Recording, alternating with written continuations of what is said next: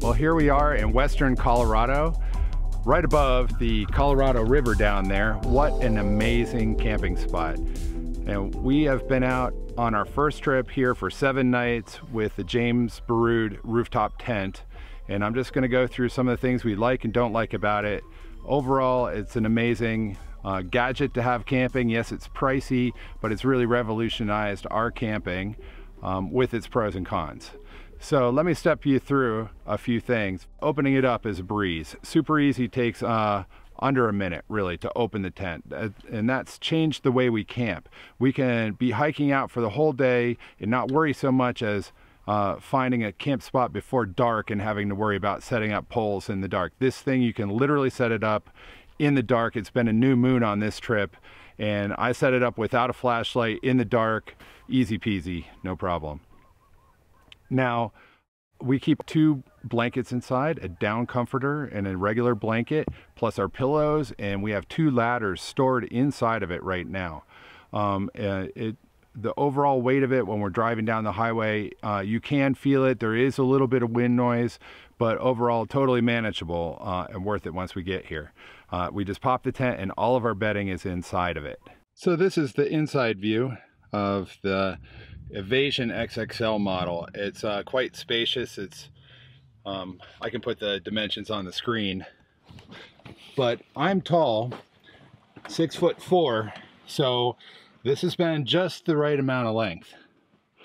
It comes with a an LED light, works pretty well. Um, and then we've got the, the vent fan over here. Now, I was talking about these these doors. They are completely waterproof and they've got ventilation windows here that work, you know, easily. But at the bottom, we just have Velcro. This Velcro is what, you know, sticks here. Um, and you see there's big openings that can happen. Um, it's a little bit of a pain. I'm not sure why they didn't put a zipper down there, probably just out of convenience and to make it folding up easier. Um, talking about folding up the tent, the first thing we do is um, these are the struts that hold hold the tent up, and we um, you know make them tall when we set up the camp tent. Now when we're we're going to close it, I generally close all the windows and then break it like that. Just pull it forward, and that gets the collapsing process started. The windows I do about halfway uh, I mean the doors, and I make sure that they're they're all closed. Like this one's open, so just the Velcro tabs. Um, and then I make sure I close them about halfway. Um, then all of the bedding, I want to make sure it's away from the edge. Um, we did add an extra inch of uh, memory foam here on top of their mattress, and we found it's just a little more comfortable with that extra padding. But in terms of closing up, um, I've got to break these struts, uh, close up the windows. Same over here. Yeah, um, this is the first trip and it's been, been so cold. So we've been sleeping with all the windows all closed up. It's the view from our tent. Not too bad. So at first I close the front latches, uh, the driver's side first, make sure everything tucks in above the braces, tuck in the front uh, canvas of the tent. Then we move to the sides, fold those in, and uh, work to close each of the rear latches. Um, again, not latching them all the way, just connecting them at first to have a little bit of flex so we can still tuck in any fabric that might be showing. Um, this is difficult for my wife to do, virtually impossible to close the tent by herself. It does take some muscle, and sometimes I uh, have to climb literally on top of it to give it a little nudge to close it. Um, however, having uh, slept with it for seven nights, it's gotten much easier. It's definitely a skill you learn, and now I can close it by myself in a matter of a couple of minutes. Um, we have moved away from using the provided ladder and we like instead to use a telescoping ladder I got on Amazon for not very much. Um, it has got some dirt in it already, having difficulty opening and closing it with all this, you know, red Colorado and Utah, Utah dirt. Uh, it's messing up the ladder a little bit. but um, the one en exit entry um, up the back of the Jeep, we found that to work pretty well with these Front Runner roof rack ladder clips.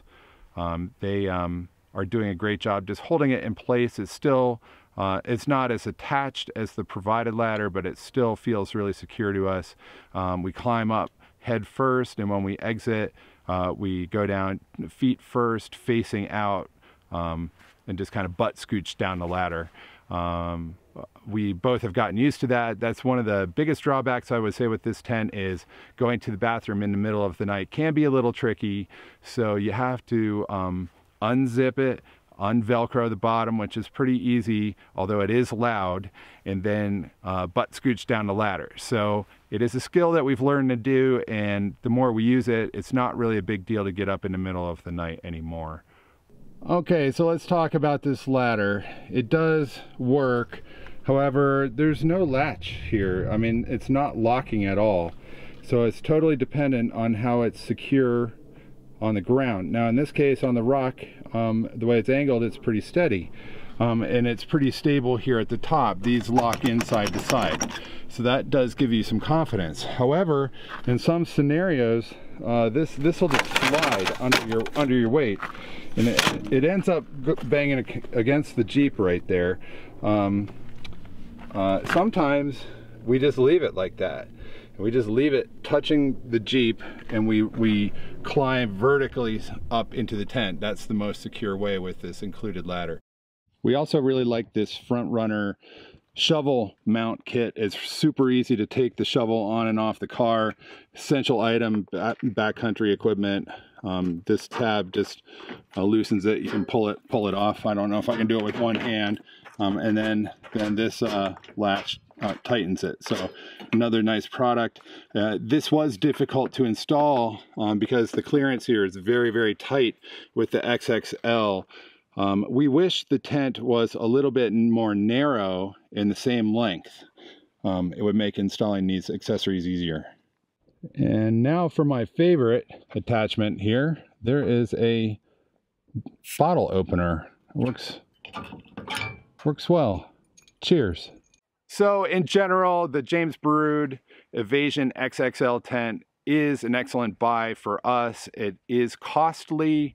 Um, so you have to want to be camping a lot in it to make it worth your time. Otherwise, a tent is going to be much more budget minded option.